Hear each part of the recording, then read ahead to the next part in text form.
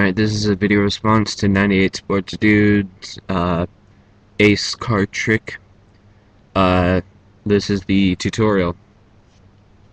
Um, I think I figured it out.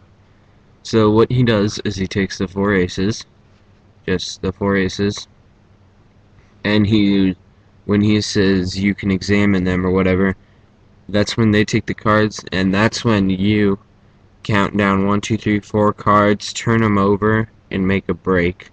But they don't see this, and make sure they don't see this top card exposed because this one's exposed too. This is the bottom of the deck.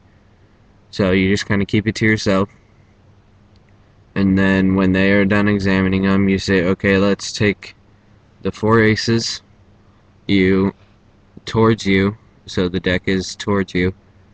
You can see my break there um, you put them on top and so once they're on top you say here let's take the four aces. You turn all eight cards over.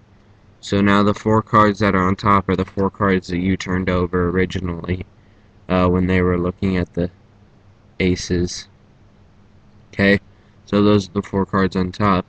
You say we we can take the four aces and you're just gonna stick them into the deck.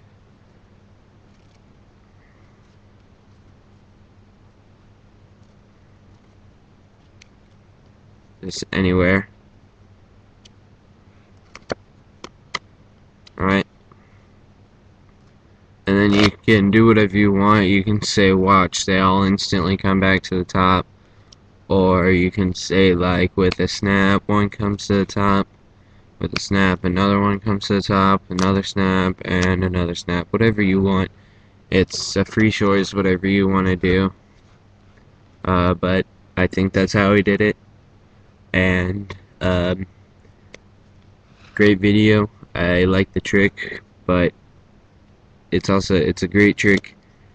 And I figured it out, I think. Not sure if that's how you did it, but I think that's how the trick is in general. Alright, thanks for watching.